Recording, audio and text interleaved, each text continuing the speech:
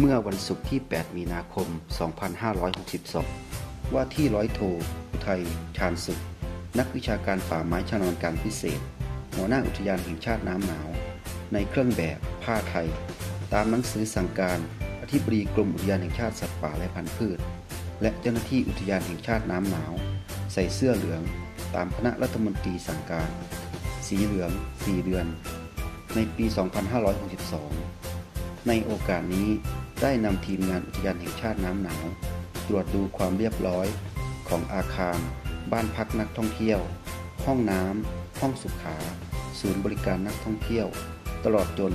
ระบบไฟฟ้าประปา เพื่อรักษาชื่อเสียงเกียรติยศที่มาของรางวัล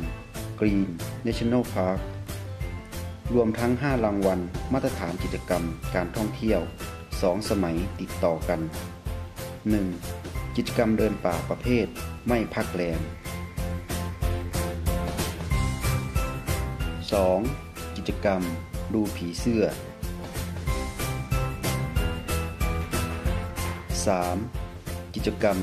ค่ายพักแรมประเภท C2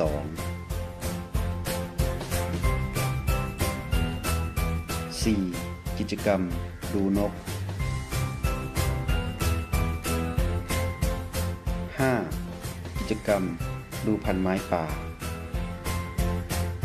และอีกสองรางวัลมาตรฐานประเภทแหล่งท่องเที่ยว 1. มาตรฐานแหล่งท่องเที่ยวทางธรรมชาติ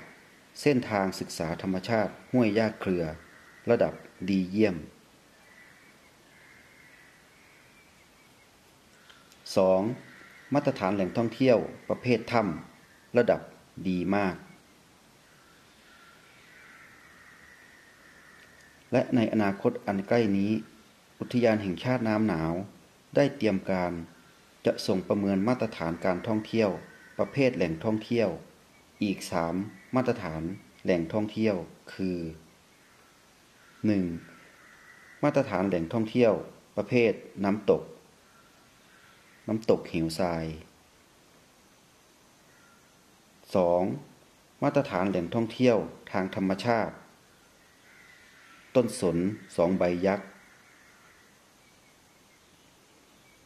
3. มาตรฐานแหล่งท่องเที่ยวทางธรรมชาติ ป่าเปลี่ยนสี จากกรมการท่องเที่ยว กระทรวงท่องเที่ยวและกีฬาต่อไป